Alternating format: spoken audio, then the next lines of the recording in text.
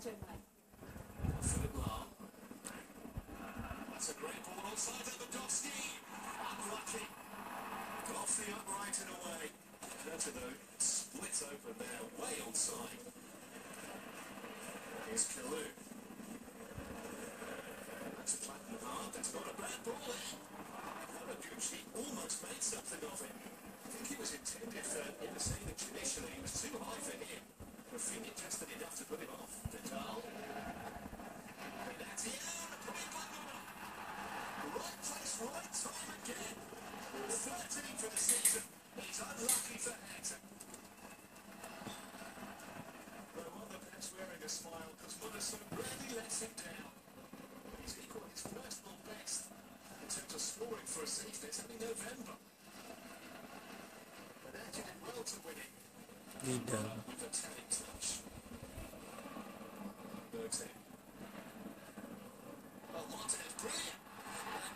scored two in seven minutes. What a pass, though, from a centre half.